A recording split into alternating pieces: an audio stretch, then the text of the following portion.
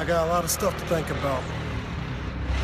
December the 12th, on the grand stage of all, Dojo War Mega Show will be at Flyer Skate Zone. Me going one on one with Curt Robinson. Well, I don't know what's going on with you.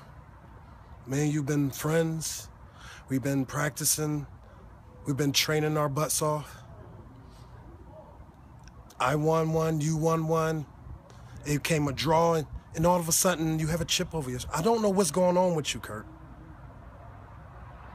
And I understand that me and you, Frankie Pickard and Curt Robinson, have a match, a no ropes match.